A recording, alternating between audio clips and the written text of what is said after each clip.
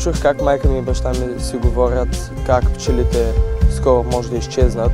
Стори ми се интересна идеята и реших да я превърна в моя проект. За мен Олимпиадата е начин младите да покажат мнението си по дадени проблеми и те да изразят, да изразят решения, да предложат решения на тях. Качества, които са свързани с проблемсолвинга са креативност, постоянство, непреклонимост и любопитство. Проектите на Британика много ми помогнаха с частта за любопитството, постоянството, както и за самоувереността.